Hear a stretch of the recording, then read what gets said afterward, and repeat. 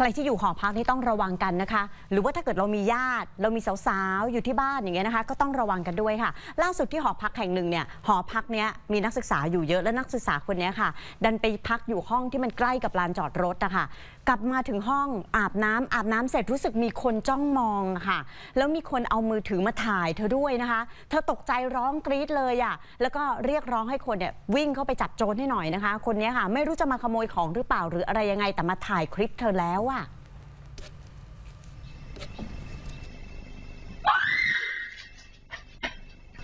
พี่ว่าย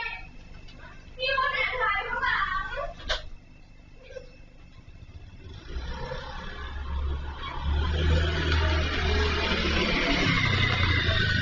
เห็นไหมคะ มันขี่มอเตอร์ไซค์หนีหายไปเลยอะค่ะ เนี่ยคือห้องที่เธอพักอยู่เนี่ย อยู่ชั้นล่างใกล้กับลานจอดรถนี่นี่นี่นี่ มันตกใจวิ่งไปขี่มอเตอร์ไซค์แล้วก็ไปอะค่ะ เหตุการณ์เกิดขึ้นตีสองครึ่งของ 2 เมษายนนะคะ หอพักแห่งนี้อยู่แถวแถวๆกันทรวิชัยที่มหาสารคามค่ะ นักข่าวช่องแปดของเราลงพื้นที่ไปแล้วนะคะ ไปดูซิด้านหลังของห้องน้องคนนี้ค่ะ ผลปรากฏว่าอยู่ติดกับลานจอดรถตรงนี้เลย ห้องน้ำเนี่ยมันมีช่องระบายอากาศบานเกล็ดแบบเนี้ยค่ะ ดันหลุดไปหนึ่งชิ้นเนี่ยแหละก็เลยเป็นจังหวะที่ตาหมอนี่นะคะ มาส่องถ่ายคลิป ไม่รู้จะเอาคลิปไปไหนหรือเปล่า แล้วก็ถ่ายภาพได้แค่ไหนนี่คือสิ่งที่น้องกังวลนะคะ เจ้าของหอค่ะ คุณจิรชัดบัวสายนะคะเนี่ยพานักข่าวไปดูเลยนะคะ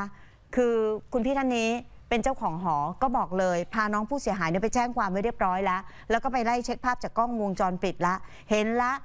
คนร้ายเนี่ยขี่มอเตอร์ไซค์ยี่ห้อ Honda s u m m e r X สีเหลือง เข้ามาจอดในพื้นที่หอ แล้วก็เดินป้นเป็นป้นเปี้ยนนะคะเนี่ยเนี่ยภาพปรากฏอย่างเงี้ยค่ะ เดินคล้ายๆ กับว่าเหมือนจะมาขโมยของนี่เดินไปสักพักยังไม่ทันได้ก่อเหตุ แล้วคงได้ยินเสียงเหมือนคนอาบน้ำมาสู้สู้สู้อยู่แบบนั้นนะคะตรงลานจอดรถอะนะเนี่ยก็เลยเปลี่ยนเป้าหมายมาแอบถ่ายแทนไอตอนนั้นน่ะน้องผู้เสียหายคนนี้ก็เห็นมือถือสอดเข้ามาในช่องระบายอากาศบันเกล็ดที่มันหลุดไปแผ่นนึงอะ แล้วตะโกนเรียกคนมาช่วยอะอะลองฟังดูค่ะ ได้รับแจ้งจากเอ่อพี่ที่พักอยู่ในหอครับว่ามีคนมาแบบถ้ามองตอนอาบน้ำดูจากในกล้องวงจรครับ ก็มีคนคนที่มาดูครับก็เอ่อนอกจากจะดูแบบมาแอบส่องว่าแบบมีคนอาบน้ำพวกเนี้ยครับ ก็มา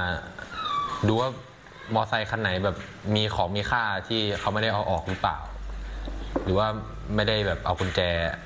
ออกเสียบคาไว้ครับเขาก็เหมือนเหมือนจะมาขโมยครับ เพราะว่าเขาก็ดูแทบทุกคันเลยสำหรับใครที่พักอาศัยอยู่หอพัก หรือว่าเป็นเจ้าของกิจการนะครับ ก็ฝากระวังด้วยนะครับ พวกเข้าของทรัพย์สินมีค่าก็อย่าเอาไว้ที่รถมอไซค์นะครับ แล้วก็แต่ก็ยังดีครับที่ว่าเพราะว่าหอผมมีกล้องวงจรปิดก็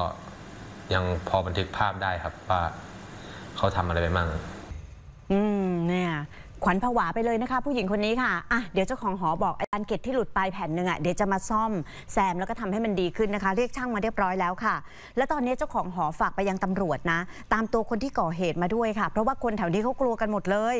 กลัวทั้งจะโดนถ้ำมอง กลัวทั้งจะโดนขโมยของนะคะ ยังไงก็ตามแต่ภาพหลักฐานมอบให้ตำรวจหมดแล้วค่ะครับข่าวช่อง 8 ครบเครื่องเคียงข้าง